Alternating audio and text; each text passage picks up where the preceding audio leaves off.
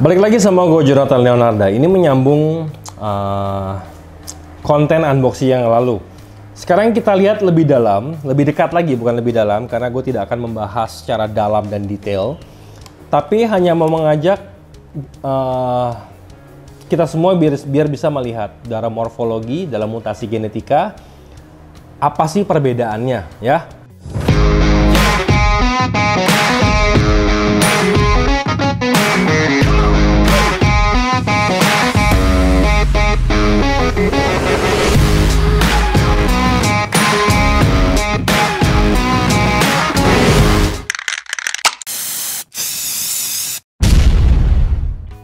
Jadi mungkin gue coba dari sini dulu ya. Ini ada ada blurry yang kita bisa lihat. Eh sorry sorry jangan blurry. Blurry-nya ternyata uh, sama. Jadi jangan blurry. Nggak ada per perbandingannya. Kita taruh sini dulu. Gue akan kasih lihat root Weni. Jadi yang versi biasa dengan versi yang albinonya. Gue akan kasih lihat.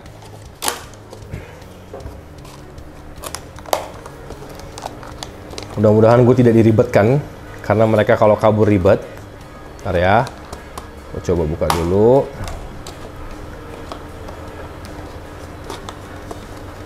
Nah, oke. Okay. Jadi di depan kita ini ada dua root yang memiliki uh, gen yang berbeda. Yang pertama adalah Weni yang normal seperti itu, udah cantik banget ya. Kalau kita lihat ada merah, hitam dan putih. Ya. Di sebelahnya ada albino. Kalau kita lihat pada endingnya albino timin ini memiliki warna mata yang merah. Dan kalau kita lihat lagi, yang hilang dalam albism adalah hitam. Jadi yang tersisa tinggal merah dan putihnya. Jadi bisa kita bandingkan ya antara yang biasa dengan yang albino. Biar kita tidak salah persepsi tentang ini. Nah, nanti gue jelaskan lagi. Ketika dua ketika dua ekor ini albino dan non albino dikawinkan, albino timin, maka anak-anaknya akan memiliki visual 100% seperti yang biasa yang normal, tapi membawa gen albino atau recessive albism. Yang nanti ketika mereka dikawinkan sesama head baru bisa mencetak lagi albino. Jadi kita udah bahas tentang perbedaan albino dan non albino yang versi root Weni. Kita pinggirkan dulu biar nanti nggak ketukar-tukar. Bentar ya.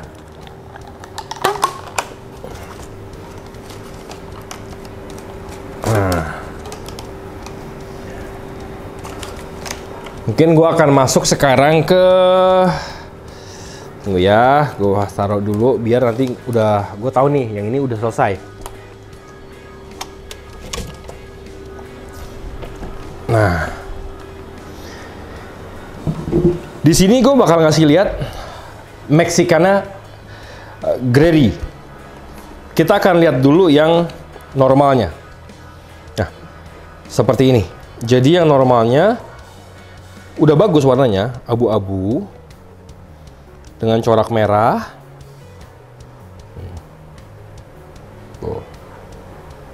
Abu-abu hitam merah. Ya. Dan abu-abunya kan cenderung abu-abu gelap. Ini yang wild type atau yang versi normalnya. Tidak memiliki morph. Kayak gini. Ya. Nah ada satu lagi. Ntar.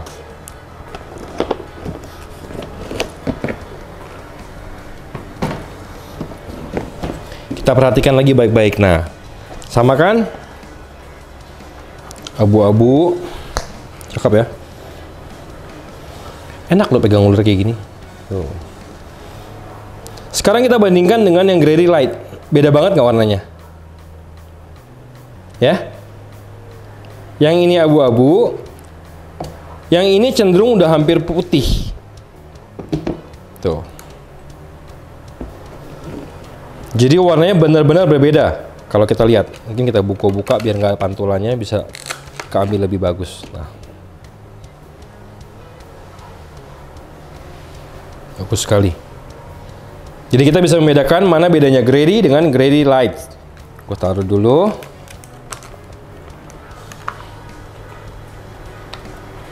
Kalau nggak double check ini suka kabur.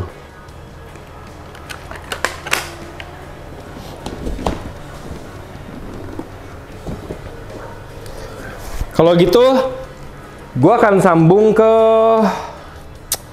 mana ya biar seru ya. Ini belakangan, ini Enery. Tunggu bentar di sini kita ada apa lagi ya?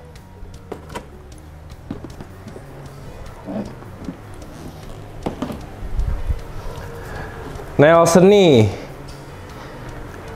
Wah, Nelson nih banyak di sini sih. Sebentar ya. Gue lihat lagi. Oh, tunggu bentar, gue ambilin. A few moments later. Kalau di sini ada dua, sama-sama albino. Yang satu albino biasa, yang satu albino red conda. Jadi kalau dalam hognose, nih, hognose normalnya kan begitu ya. Motif normalnya, tuh lucu banget tuh mukanya, kayak bebek. Ini hanya albino. Perhatikan baik-baik coraknya. Coraknya rapat-rapat, lebih ke kotak-kotak dan warnanya nggak terlalu merah, lebih cenderung ke orange. Ya, kita lihat. Dia belum makan nih, baru pada datang. Ini yang uh, albino, tapi head lavender. Jadi lavendernya belum kelihatan. Ketika ada lavender jadi keunguan. Sekarang kita akan bandingkan dengan yang konda. Nah, kalau konda dalam dalam dunia hognose itu mutasi yang terjadi pada pattern, pada corak. Contohnya kayak gini.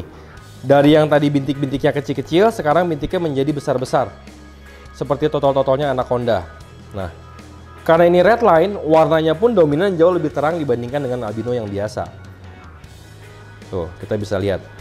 Ketika konda ketemu dengan konda, dia punya super form namanya super konda udah hampir patternless. Wah jadi polos. Jadi dalam mutasi mutasi genetik dalam reptil ini ada yang bermutasi dari, dari sisik kalau di jadi scaleless ada yang bermutasi di corak seperti di anaconda, superconda dan lain-lain. Ada juga yang bermutasi di warna.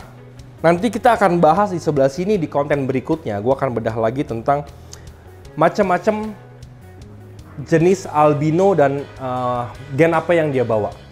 Jadi gue rasa untuk yang hari yang konten pertama ini biar nggak kelamaan di direct panjang, kita selesaikan dulu. Jadi tadi kita udah bahas mungkin ada tiga ular kali ya, tiga ular tiga dalam tiga jenis yang berbeda. Dan di dalam jenis itu ada perbedaannya masing-masing. Nanti kita bedah lagi ke sini, ke sini dan ke sana.